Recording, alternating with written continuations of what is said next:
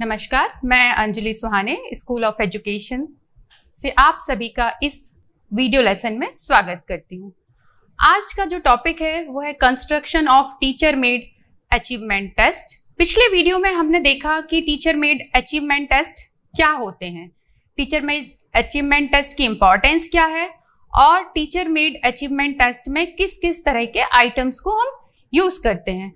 सो so, जब अगर आप पिछला वीडियो देखे होंगे तो निश्चित ही समझ चुके होंगे कि अचीवमेंट टेस्ट क्या है। उसको थोड़ा हम रिकॉल करते हैं कि अचीवमेंट टेस्ट क्या है। Achievement test is an important tool in school evaluation and has great significance in measuring instructional process and process of the student in the subject area means achievement test एक tool है जो बच्चों की progress और instructional strategy की progress को बताता है। इसलिए जब इस टेस्ट को अचीवमेंट टेस्ट को टीचर्स बनाते हैं तो इसको हम बोल देते हैं teacher made achievement test accurate achievement data are very important for planning curriculum and instruction and for program evaluation achievement test से जो डाटा मिलता है, वो कैरिकुलम को, की प्लानिंग करने में इंस्ट्रक्शन की प्रोग्रेस जानने में और प्रोग्राम को इवेल्युएशन करने में बहुत महत्वपूर्ण है। जैसे कि पिछले वीडियो में आपने देखा होगा, समझा होगा कि अचीवमेंट टेस्ट में हम objective type items subjective type items short answer long answer इन सभी का रखते हैं। ऑब्जेक्टिव टाइप आइटम्स कई तरह के होते हैं। जैसा कि आप समझ चुके होंगे पिछले वीडियो में सप्लाई टाइप होते हैं और सिलेक्शन टाइप भी होते हैं। सिलेक्शन में स्टूडेंट को एक ऑप्शन सिलेक्ट करना पड़ता है सप्लाई में रिकॉल करके लिखना पड़ता है। तो आज हम डिस्कस करते हैं कि अगर हमको ये पता है कि आइटम्स को कैसे बनाना है, लेकिन अचीवमेंट टेस्ट को कैसे बनाना है, इसको आज हम समझते हैं। तो सबसे पहले बात करते हैं प्रोसेस क्या है? टीचर मेड अचीवमेंट टेस्ट की। अचीवमेंट टेस्ट जो भी हैं, वो टीचर्स के द्वारा बनाए गए हैं तो उनको हम टीचर मेड अचीवमेंट टेस्ट करते हैं। इसके कई स्टेप होते हैं। Planning of test of a design for the test preparing blue print writing the test items developing marking scheme आप स्लाइड में देख सकते हैं, सबसे पहले है प्लानिंग अगर हमको कोई भी कार्य करना है तो सबसे पहले ज़रूरी होता है कि उसको प्लान करना। अगर प्लानिंग ठीक से नहीं होगी, अगर हमारा रोड मैप ठीक से नहीं बना होगा तो हमारी आगे की प्रोसेस सक्सेसफुल नहीं होती है। So planning is very important part in the construction of teacher made achievement test जब हम प्लान कर लेते हैं तो हम डिज़ाइन करते हैं उसके बाद कि डिज़ाइन डिज़ाइन में क्या क्या आएगा उसमें और किस तरह से ये सेट होगा। उसके बाद आता है प्रिपेयरिंग ब्लूप्रिंट फिर उसके बाद writing test items test items क्या होते हैं, ये हम ऑलरेडी समझ चुके हैं पिछले वीडियो में। देन डेवलपिंग मार्किंग स्कीम अभी इन सभी स्टेप्स जो पाँच स्टेप्स हैं, इन्हीं को हम एक एक करके डिस्कस करते हैं, जिससे कि आप भली भांति टीचर मेड अचीवमेंट टेस्ट बना पाएँगे। सो so, सबसे पहले planning of the test planning of test से मतलब है कि identification of instructional objective of the test कोई भी टेस्ट है वो उसके क्या इंस्ट्रक्शनल ऑब्जेक्टिव हैं? हर सब्जेक्ट के different set of instructional objectives होते हैं। जैसे कि साइंस साइंस में हम कहते हैं कि साइंस पढ़ने के बाद बच्चे को लॉजिकल रीजनिंग आ जाती है। मैथमेटिक्स के बाद प्रॉब्लम सॉल्विंग स्किल्स डेवलप हो जाती हैं। लैंग्वेज पढ़ने के बाद लिंग्विस्टिक स्किल्स डेवलप हो जाती हैं। तो इसीलिए जो भी टेस्ट बना रहे हैं, उसके सबसे पहले ऑब्जेक्टिव्स डिसाइड करने होंगे। ऑब्जेक्ट इंस्ट्रक्शनल ऑब्जेक्टिव नॉर्मली जो ब्लूम्स टेक्सोनॉमी है, उसके आधार पर बनाए जाते हैं। ब्लूम्स टेक्सोनॉमी की चर्चा हम इस वीडियो में नहीं करेंगे। इसको निश्चित ही आप पहले के वीडियो में समझ चुके हैं। इंस्ट्रक्शनल ऑब्जेक्टिव्स जो होते हैं वो नॉलेज अंडरस्टैंडिंग एप्लीकेशन और स्किल लेवल पर कैटेगराइज करते हैं। सो so, जब भी हम किसी भी टूल अचीवमेंट टेस्ट के लिए इंस्ट्रक्शनल ऑब्जेक्टिव बनाते हैं तो उनको चार कैटेगरी में बना लेते हैं। नॉलेज लेवल पर अंडरस्टैंडिंग लेवल पर एप्लीकेशन लेवल पर और स्किल लेवल पर। जब भी इंस्ट्रक्शनल ऑब्जेक्टिव बनाते हैं तो उस समय हम एक्शन वर्ब का यूज़ करते हैं। एक्शन वर्ब होती हैं, जैसे एक्सप्लेन डिफ्रेंशिएट इस तरह की जो एक्शन वर्ब है, इनका प्रयोग करके हम क्या करते हैं इंस्ट्रक्शनल ऑब्जेक्टिव्स को बनाते हैं। इसके बाद क्या होता है, जब हमने ऑब्जेक्टिव्स डिसाइड कर लिए तो फिर हमको प्लान करना पड़ता है कि जो हम अचीवमेंट टेस्ट बना रहे हैं, उसमें नंबर ऑफ़ क्वेश्चंस कितने होंगे। ठीक है? अगर हम उसके साथ साथ किस यूनिट का बनाना है, मान लीजिए एक टीचर जो है, वो दोनों तरह से अचीवमेंट टेस्ट बनाएगा। उसने दो यूनिट या दो चैप्टर्स खत्म कर लिए हैं और उस उन दो चैप्टर्स के लिए अचीवमेंट टेस्ट बनाना है। तो वहाँ पर कंटेंट क्या होगा? वो दो यूनिट होंगी। तो हमें डिसाइड करना पड़ेगा किस यूनिट्स के लिए बना रहे हैं नंबर ऑफ़ यूनिट्स कितनी लेनी है। अब वो जो यूनिट्स हैं, उसमें नंबर ऑफ़ क्वेश्चंस कितने होंगे? कितने टाइम देंगे आप टेस्ट करने के लिए? बच्चों को एक घंटे के लिए बना रहे हैं फोर्टी फाइव मिनट्स के लिए बना रहे हैं टू आवर्स के लिए बना रहे हैं। ये डिपेंड करता है कि आप किस तरह का टेस्ट प्रिपेयर कर रहे हैं। और जितना टाइम होगा, जितने क्वेश्चंस होंगे, उसके हिसाब से मैक्सिमम मार्क्स कितने होंगे। 50 मार्क्स का है 100 मार्क्स का है। सो so, ये सारी चीज़ें इंटर रिलेटेड हैं। ऐसा है कि जैसे क्वेश्चंस जितने होंगे, उसी हिसाब से टाइम दिया जाएगा, उसी हिसाब से मार्किंग होगी। क्वेश्चंस भी डिपेंड करेंगे कि यूनिट्स कितनी कवर कर रहे हैं। सो so, ये सारी चीज़ें इंटर रिलेटेड है। किस कित, किस उम्र के बच्चों के लिए आप अचीवमेंट टेस्ट बना रहे हैं? ज़्यादातर जैसे छोटे बच्चे होते हैं तो उनके लिए जब भी हम अचीवमेंट टेस्ट बनाते हैं तो ड्यूरेशन जो है वो कम रखते हैं। क्योंकि वो बहुत लंबे समय तक एग्ज़ाम देने में उनका मन नहीं लगता तो उनके लिए हम one hour one and half hour से ज़्यादा टाइम लिमिट नहीं रखते हैं। वहीं अगर अचीवमेंट टेस्ट कॉलेज स्टूडेंट्स के लिए तो हम थ्री आवर्स भी रखते हैं। सो so, डिपेंड करता है कि हमारा क्लाइंटेल ग्रुप क्या है। सो so, ये बात हुई प्लानिंग ऑफ़ द टेस्ट की। जब प्लानिंग कर लेते हैं देन आता है design preparation of a design for the test design के अंतर्गत मेन चार बातें आती हैं। जब भी हम टेस्ट को डिज़ाइन करते हैं तो हमको देखना पड़ता है वेटेज ऑफ़ ऑब्जेक्टिव्स जैसे कि चार तरह के हमने लेबल्स बताए knowledge understanding application and skill so इनका वेटेज क्या होगा? जो हम टेस्ट बना रहे हैं उसमें नॉलेज लेवल का वेटेज कितना होगा? नॉलेज लेवल के क्वेश्चंस हम कितने पूछेंगे? अंडरस्टैंडिंग लेवल के क्वेश्चन कितने होंगे?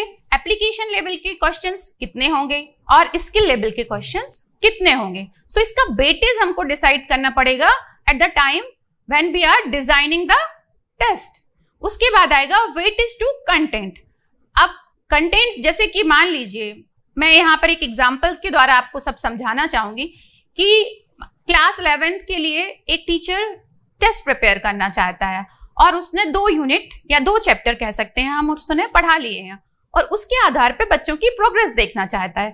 सो वेटेज टू कंटेंट हमारा दो यूनिट का टेस्ट लेना है, unit one and unit two लेकिन ज़रूरी नहीं है इनका वेटेज फिफ्टी फिफ्टी परसेंट हो। हो सकता है यूनिट वन बड़ी हो तो उसका वेटेज हम सिक्सटी परसेंट रख सकते हैं। हो सकता है यूनिट टू बड़ी हो तो उसका वेटेज हम सिक्सटी परसेंट रख सकते हैं। सो ये डिपेंड करता है कि जो यूनिट है उसकी लेंथ कितनी है कंटेंट कितना है उसमें। सो so, उसको देखते हुए हम वेटेज डिसाइड करते हैं। अगर तीन यूनिट है तो यूनिट वन का हो सकता है थर्टी हो यूनिट टू का थर्टी हो यूनिट थ्री का फोर्टी हो। It's depend on the content so इसके बाद आएगा कि weightage of form of question मैंने पहले ही बताया कि जो अचीवमेंट टेस्ट होते हैं उसमें तीन तरह के क्वेश्चन हम रखते हैं। Objective type short answer type and long answer type तो इन तीनों तरह के क्वेश्चंस का वेटेज कितना होगा? अगर एक हंड्रेड मार्क्स का आपने एग्ज़ाम लिया है तो उसमें शॉर्ट आंसर कितने होंगे लॉन्ग आंसर कितने होंगे ऑब्जेक्टिव टाइप कितना होगा? ये सब डिपेंड करता है उस लेवल पर, किस लेवल के बच्चों का टेस्ट ले रहे हैं और स्टूडेंट पर, और साथ ही साथ जो हमारा कंटेंट है, उसके आधार पर। लास्ट होता है weight is to difficulty level difficulty level क्या है? जनरली जो हम टूल अचीवमेंट टेस्ट बनाते हैं अचीवमेंट टेस्ट एक टूल ही है बच्चों की प्रोग्रेस जानने के लिए। उस समय हमें देखना पड़ता है कि उसका डिफिकल्टी लेवल क्या है। हम कहते हैं कि ना तो कोई भी टेस्ट बहुत आसान हो और ना ही बहुत कठिन हो। अगर आसान होगा तो हम बच्चों के बीच में डिफ्रेंशिएशन नहीं कर पाएँगे, उनको डिस्क्रिमिनेट नहीं कर पाएँगे कि किस बच्चे को कितना आता है। और अगर बहुत कठिन होगा तो ज़्यादातर बच्चे उस क्वेश्चन पेपर को कर ही नहीं पाएँगे। तो सामान्यतः ये कहा जाता है कि जो डिफिकल्टी लेवल हो वो मॉडरेट हो। कुछ क्वेश्चंस एवरेज डिफिकल्टी लेवल के हों कुछ आसान हो और कुछ डिफ़िकल्ट हो। सो so, जो डिफ़िकल्ट क्वेश्चन होंगे वहाँ पर हम डिसाइड कर पाते हैं कितने बच्चों को क्या डिफिकल्टी आ रही है। सो so, ये चार जो हैं ये है डिज़ाइन का पार्ट अभी इनको हम एक एक करके डिस्कस करते हैं कि वेटेज ऑफ़ ऑब्जेक्टिव से क्या मतलब है वेटेज ऑफ़ कंटेंट से क्या मतलब है। आप स्लाइड में देख पा रहे होंगे कि वेटेज ऑफ़ इंस्ट्रक्शनल ऑब्जेक्टिव मैंने कहा कि हम सामान्यतः जो ऑब्जेक्टिव है वो चार लेवल पे लिखते हैं knowledge understanding application and skill तो मान लीजिए कि एक एग्ज़ाम्पल से हम समझते हैं कि टीचर ने डिसाइड किया कि वो 50 मार्क्स का एग्ज़ाम लेगा, ठीक है? टोटल मार्क्स कितने हैं? 50 तो आप स्लाइड में देखेंगे कि उसने डिसाइड किया कि नॉलेज लेवल के के लिए वो 18 मार्क्स रखता है अंडरस्टैंडिंग के लिए 14 एप्लीकेशन के लिए 13 और स्किल लेवल के लिए 5 सो so, इस तरह के जब हम इन सभी को काउंट करेंगे तो आप देखेंगे इनका टोटल जो होगा वो 50 होगा. सो so, यहाँ ये देखने की ज़रूरत होती है कि जब भी आप डिज़ाइन करें ये सभी क्रॉस चेक करते जाएँ कि इनका टोटल सब करेक्ट आ रहा है या नहीं. साथ में उसके नेक्स्ट जो है कॉलम उसमें दिया है परसेंटेज ऑफ़ मार्क्स मान लीजिए नॉलेज लेवल का फिफ्टी में में हम दे रहे हैं एटीन तो उसका परसेंटेज कितना होगा? थर्टी सिक्स फोर्टीन का ट्वेंटी एट हो जाएगा थर्टीन का ट्वेंटी सिक्स फाइव का टेन सो टोटल हंड्रेड हो गया. तो इस तरह से हम वेटेज डिसाइड करते हैं ऑब्जेक्टिव्स का. ये भी डिपेंड करता है कि हम किस सब्जेक्ट का पेपर ले रहे हैं. मान लीजिए, आप मैथमेटिक्स में ज्योमेट्री का है यूनिट्स या ट्रिग्नोमेट्री है तो वहाँ पर हम स्किल्स पे थोड़े मार्क्स बढ़ा सकते हैं क्योंकि वहाँ पर उन्होंने बच्चों को क्या करना होगा? कुछ ड्रॉ करना होगा ठीक है? सो ड्रॉ करते समय क्या होगा कि उनकी स्किल एबिलिटी आप चेक कर सकते हैं। कोई ऐसे सब्जेक्ट uh, होगा यूनिट होगा जहाँ स्किल की इतनी ज़रूरत ही नहीं हो तो वहाँ हमारा नॉलेज और अंडरस्टैंडिंग वाला जो पार्ट होगा वो ज़्यादा होगा। इस तरह से क्या होगा? वेटेज ऑफ़ इंस्ट्रक्शनल ऑब्जेक्टिव होगा। देन वेटेज टू कंटेंट अब हम सेम एग्जाम्पल्स को ले रहे हैं जब मार्क्स कितने हैं? फिफ्टी हैं। तो जो टीचर है, उसने दो यूनिट कवर कर ली हैं और दो यूनिट के लिए वो एक अचीवमेंट टेस्ट बनाना चाहता है। तो क्या होगा? कंटेंट कितने होंगे हमारे पास? दो होंगे यूनिट वन और यूनिट टू यूनिट वन थोड़ा लेंथ में बड़ी है, उसमें ज़्यादा पॉइंट्स हैं सो उसके लिए टीचर ने डिसाइड किया कि मार्क्स थर्टी हूँ और यूनिट टू के लिए ट्वेंटी हूँ। ये जस्ट एक एग्ज़ाम्पल है आपको समझाने के लिए। अदरवाइज़ ये डिपेंड करता है कि आप किसके लिए टेस्ट बना रहे हैं जो मैं कई बार बोल रही हूँ कि ये सभी आपके ऊपर डिपेंड करेगा कि आपको किस लेवल का टेस्ट बनाना है। तो 30 मार्क्स के लिए परसेंटेज कितना होगा? 60 20 मार्क्स के लिए 40 टोटल 100 सो so, ये हुआ डिपेंड यूनिट के आधार पे कंटेंट का वेटेज पह, इसके पहले वाली स्लाइड में हमने देखा था uh, किसका वेटेज ऑब्जेक्टिव्स का? अभी आया ये हो गया कंटेंट का वेटेज इसके बाद आएगा weightage to form of questions तीन तरह के क्वेश्चंस हम जनरली जो अचीवमेंट टेस्ट है उसमें लेते हैं. Objective type short answer type और ऐसे टाइप ऐसे टाइप को हम लॉन्ग आंसर भी बोल सकते हैं. तो तीन तरह के क्वेश्चंस अचीवमेंट टेस्ट में होंगे. अभी ये टीचर ने पहले ही डिसाइड कर लिया है कि मार्क्स कितने होंगे? 50 तो आप कॉलम थ्री में देखेंगे टोटल 50 मार्क्स आ रहे हैं। लेकिन नंबर ऑफ़ क्वेश्चंस कितने हो, रखना है। ये टीचर क्या करता है? प्लानिंग के समय डिसाइड करता है, लेकिन उसको सिर्फ़ उसने ये डिसाइड किया कि वो टोटल 22 क्वेश्चन रखेगा। लेकिन किसके कितने क्वेश्चंस होंगे? तो हमको यहाँ ये देखना होगा कि टीचर ने ये डिसाइड तो कर लिया कि टोटल क्वेश्चन 22 होंगे। लेकिन ऑब्जेक्टिव टाइप कितना होगा शॉर्ट आंसर कितना होगा ऐसे टाइप कितना होगा। सो so, यहाँ पर ऑब्जेक्टिव टाइप डिसाइड किया 14 क्वेश्चन होंगे और हर क्वेश्चन का को एक मार्क दिया है। सो so 14 के 14 मार्क्स वेट परसेंटेज कितना हो गया उसका? 28 शॉर्ट आंसर 13 और हर क्वेश्चन के लिए मार्क अलॉट किया 2 सो so 13 का 26 परसेंटेज 52 ऐसे टाइप सिर्फ़ दो क्वेश्चन लिए क्योंकि ज़्यादातर क्या होता है किसी भी उसमें ऐसे टाइप क्वेश्चंस कम लेते हैं ऑब्जेक्टिव टाइप ज़्यादा होते हैं शॉर्ट आंसर उससे कम। ये डिपेंड करता है मैं पहले ही कह रही हूँ कि आप किसके लिए टेस्ट प्रिपेयर कर रहे हैं। सो so, दो क्वेश्चन लिए। एक क्वेश्चन के लिए five marks so total marks कितना हो गया? टेन एक का फाइव सो टू का ten total twenty so total जो परसेंटेज हुआ वो हंड्रेड हुआ और मार्क्स हुए fifty number of question twenty two तो इस तरह से ये होता है। पहले देखा हमने weightage of objective then weightage of content then weightage to form of question then weightage to difficulty level जैसे कि मैं कह रही हूँ कि कोई भी अचीवमेंट टेस्ट ऐसा सभी जगह बताया जाता है कि कोई भी अचीवमेंट टेस्ट या कोई भी टेस्ट बहुत डिफ़िकल्ट या बहुत आसान ना हो। तो हमें देखना पड़ेगा कि हम, हमारे जो अचीवमेंट टेस्ट है उसमें किस तरह के क्वेश्चंस होंगे। जैसे इजी एवरेज और डिफ़िकल्ट इजी मान लीजिए, दस नंबर के हैं एवरेज थर्टी नंबर के हैं और डिफ़िकल्ट लेवल के टेन मार्क्स के। सो टोटल फिफ्टी चाहे तो टीचर डिफिकल्टी लेवल ट्वेंटी रख सकता है, लेकिन ऐसा नहीं हो सकता है कि डिफिकल्टी लेवल हंड्रेड परसेंट हो। मतलब सारे के सारे क्वेश्चन जो डिफ़िकल्ट हो। तो अगर सारे क्वेश्चन ही डिफ़िकल्ट होंगे तो बच्चे, सारे बच्चे पता चला कि एग्ज़ाम में उनके फेल ही हो गया। तो फिर इस तरह के जो अचीवमेंट टेस्ट है उसको हम रिलायबल अचीवमेंट टेस्ट नहीं बोलेंगे। सो so, ये तो दो पार्ट हुए। पहला प्लानिंग का पार्ट हुआ दूसरा डिज़ाइनिंग का पार्ट हुआ। थर्ड पार्ट आता है प्रिपरेशन ऑफ़ द ब्लूप्रिंट किसी भी अचीवमेंट टेस्ट में ब्लूप्रिंट बनाना एक बहुत इंपॉर्टेंट पार्ट होता है। Blueprint is a three dimensional chart होता है और इसमें तीन चीज़ें कवर होती हैं। ऑब्जेक्टिव जो हमने पहले बताया content and the form of the question जो हमारे डिज़ाइन में ये तीनों चीज़ें थी। तो जब हम ये प्रिपेयर करते हैं एक्चुअली में ये थ्री डायमेंशनल चार्ट होता है पर पेपर पेंसिल पर थ्री डायमेंशनल बनाना डिफ़िकल्ट होता है तो हम इसको टू डायमेंशनल बनाते हैं। कंटेंट जो होता है वो वर्टिकल एक्सिस पे लेते हैं और हॉरिजेंटल एक्सिस पे हम ऑब्जेक्टिव्स और टाइप ऑफ़ क्वेश्चंस ले लेते हैं। एक्चुअली में इसको टू डायमेंशनल कर, करते हैं तो हमको दो चीज़ें ऑब्जेक्टिव्स और टाइप ऑफ़ जो टाइप्स ऑफ़ क्वेश्चंस हैं वो हमको हॉरिजेंटल एक्सिस पे लेने पड़ते हैं। इसको आप स्लाइड में देखेंगे तो आप निश्चित ही समझ पाएँगे कि ब्लूप्रिंट कैसे बनता है।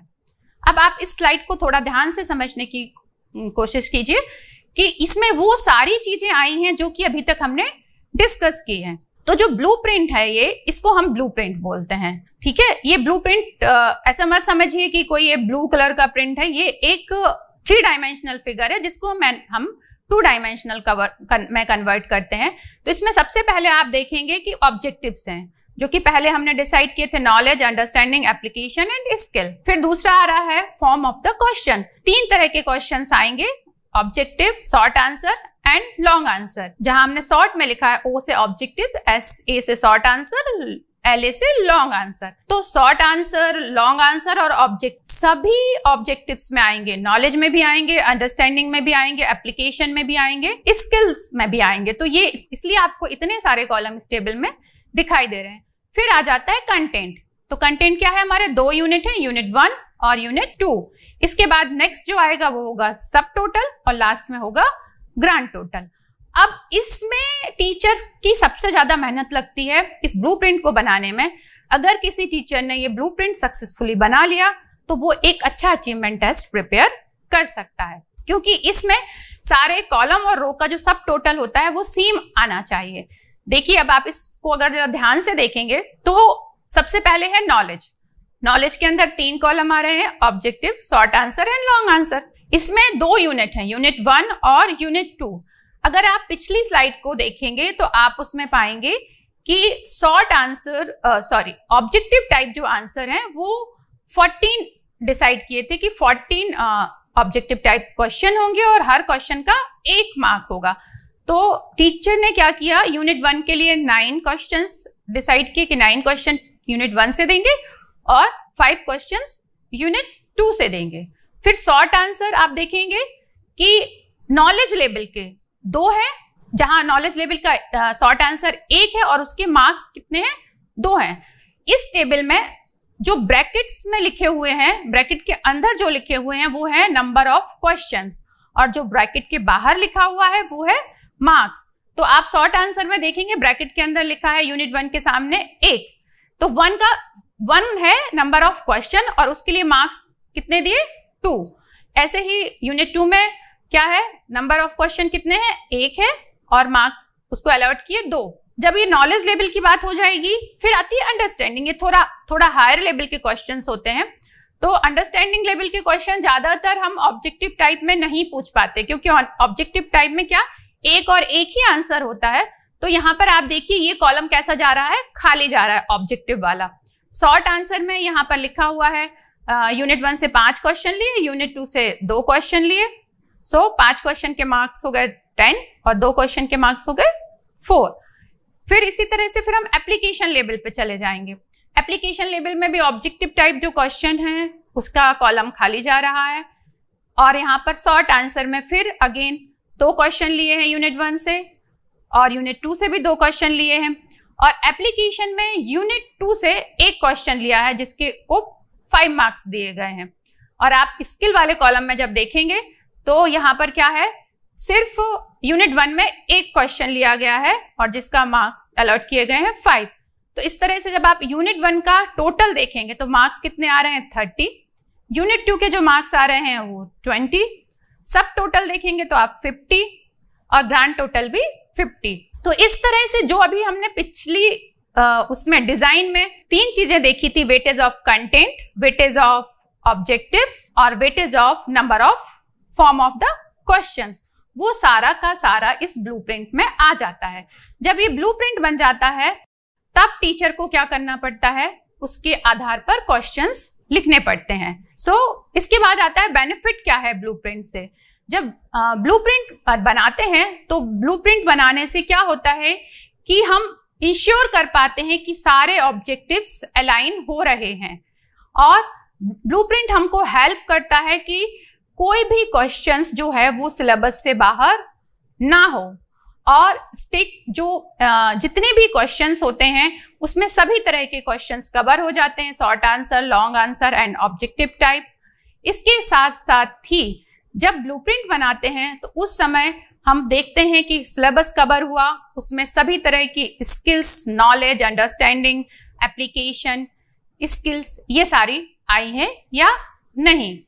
ब्लूप्रिंट बनाने के बाद आती है बारी राइटिंग द टेस्ट आइटम। यहाँ पर टीचर को क्या करना होता है जो अचीवमेंट टेस्ट में जो भी क्वेश्चंस लेने हैं जो भी आइटम्स देने हैं उनको लिखना पड़ता है। The paper setter write items according to the blue print the difficulty level has to considered while writing the items जब भी हम क्वेश्चंस uh, uh, बनाते हैं आइटम्स मीन्स क्वेश्चंस जब भी प्रिपेयर करते हैं तो हमें देखना पड़ता है कि डिफिकल्टी लेवल उनकी क्या है। अगर हमने एक क्वेश्चन पेपर अभी जो बात कर रहे थे उसमें 50 मार्क्स का है उसमें 10 मार्क्स जो है वो है डिफ़िकल्ट क्वेश्चंस के लिए और 10 मार्क्स है इजी क्वेश्चंस के लिए और 30 मार्क्स जो दिए हैं वो एवरेज के लिए दिए हैं। सो so, ये देखने की ज़रूरत होती है कि हमारा डिफिकल्टी लेवल के आधार पे क्वेश्चन है।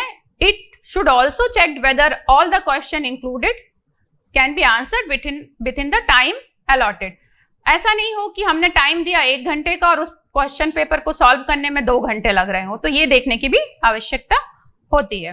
जब ये बन जाते हैं, क्वेश्चन फ्रेम हो जाते हैं, फिर हमें क्या करना पड़ता है? मार्किंग स्कीम बनानी पड़ती है। तो जो ऑब्जेक्टिव टाइप क्वेश्चन होते हैं, उनके लिए हम मार्किंग स्कीम बना के देते हैं कि क्वेश्चन नंबर वन का आंसर ए है, क्वेश्चन का बी है, जिस, इस तरह से जैसे स्लाइड में दिख रहा है, इस तरह से मार्किंग स्कीम आप बना सकते हैं। और शॉर्ट आंसर और लॉन्ग आंसर के लिए हम कुछ क्लू पॉइंट देते हैं कि अगर इस इस पॉइंट को बच्चे ने कवर किया है तो उसके आधार पर मार्क्स देने हैं और कौन सा क्वेश्चन का कितना नंबर है।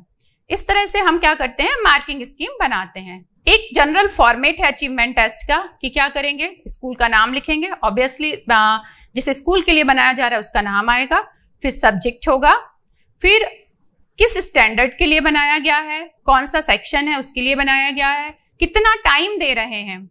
वो लिखेंगे। मैक्सिमम मार्क्स कितने हैं वो लिखेंगे। इंस्ट्रक्शन देना है। मतलब जैसे मान लीजिए ये पेपर जो हमने डिसाइड किया उसमें थर्टीन क्वेश्चन है। तो हम लिखेंगे कि क्वेश्चन नंबर वन से लेके इधर तक के क्वेश्चन ऑब्जेक्टिव टाइप्स हैं।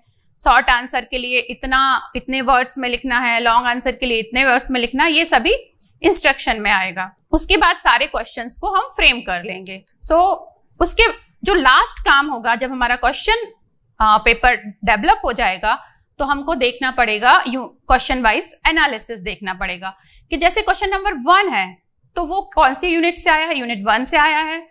उसका ऑब्जेक्टिव क्या है? वो नॉलेज लेवल का है अंडरस्टैंडिंग लेवल का है।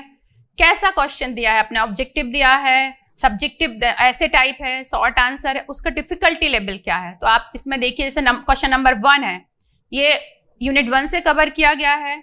मान लीजिए, उसका ऑब्जेक्टिव क्या है? नॉलेज लेवल का है। फॉर्म क्या है क्वेश्चन का? ऑब्जेक्टिव टाइप है। डिफिकल्टी लेवल क्या है? इजी है।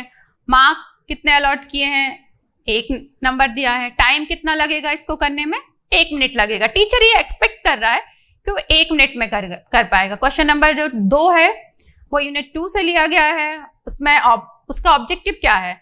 वो अंडरस्टैंडिंग लेवल का है। जो भी क्वेश्चन पूछा गया है, उसका लेवल कैसा है? अंडरस्टैंडिंग लेवल का है। फॉर्म क्या है क्वेश्चन का? शॉर्ट आंसर है। डिफिकल्टी लेवल बहुत इजी नहीं है एवरेज है। और मार्क्स कितने दिए हैं? दो मार्क्स अलॉट किए हैं। और टीचर एक्सपेक्ट कर रहा है थोड़ा बड़ा क्वेश्चन है तो इसको करने में दो मिनट लगेंगे मे बी तो इस तरह से ये सभी क्वेश्चन के लिए, मैंने जस्ट दो, तीन के लिए एग्ज़ाम्पल के फॉर्म में बताया है तो वो सभी के लिए तीन, चार, पाँच सभी लिखते जाएँगे और इस टेबल को फिल करेंगे। तो इस तरह से आज के इस वीडियो में हमने समझा कि टीचर मेड अचीवमेंट टेस्ट को कैसे प्रिपेयर करते हैं? उसके स्टेप्स क्या हैं? जैसे planning designing preparing blueprint writing items then scoring की प्रिपेयर करना। तो जब टी, टीचर इन सभी को फॉलो करेगा तो वो एक प्रॉपर अचीवमेंट टेस्ट बना पाएगा। जिस अचीवमेंट टेस्ट में सभी कुछ होगा knowledge understanding application skill level के क्वेश्चंस होंगे। तो इस तरह से क्या होगा कि जो एक पेपर होगा, वो पूरा कंटेंट को कवर कर रहा होगा। सभी तरह के क्वेश्चंस होंगे इजी डिफ़िकल्ट एवरेज सभी टाइप के क्वेश्चन होंगे objective short answer long answer तो इस तरह से एक सिस्टमैटिक प्रॉपर अचीवमेंट टेस्ट बनेगा और वो सभी तरह के बच्चों के लिए यूजफुल होगा। तो मुझे लगता है कि इस वीडियो के माध्यम से आप निश्चित ही एक अच्छा अचीवमेंट टेस्ट प्रिपेयर करना सीख पाए होंगे। अब अगले वीडियो में हम फिर मिलेंगे और बात करेंगे कि ये अचीवमेंट टेस्ट को एडमिनिस्टर कैसे करना है और इसके लिए किस तरह से हम आगे की प्रोसेस उसकी स्कोरिंग कैसे करेंगे, इसका जो है, उसका इंटरप्रिटेशन कैसे होगा, हम फिर अगले वीडियो में इसके अगले पार्ट के बारे में चर्चा करेंगे। धन्यवाद।